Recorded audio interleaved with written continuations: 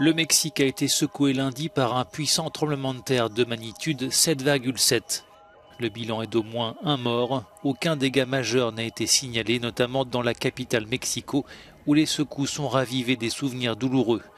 Trouble coïncidence, ce séisme a eu lieu le jour anniversaire des tremblements de terre meurtriers de 2017 et 1985. J'ai peur, dit cette femme. C'est incroyable qu'un séisme se reproduise exactement cinq ans après. Nous savons qu'à l'avenir, il y aura encore d'autres tremblements de terre. Des moments comme ça sont très difficiles à vivre, dit cet homme. On revit les séismes du passé. Nous sommes dans l'angoisse.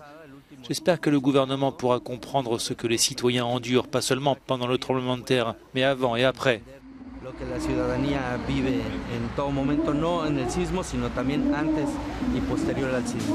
Peu de temps avant le séisme, les habitants avaient participé à un exercice antisismique et des cérémonies avaient commémoré les nombreuses victimes des tremblements de terre des 19 septembre 2017 et 1985.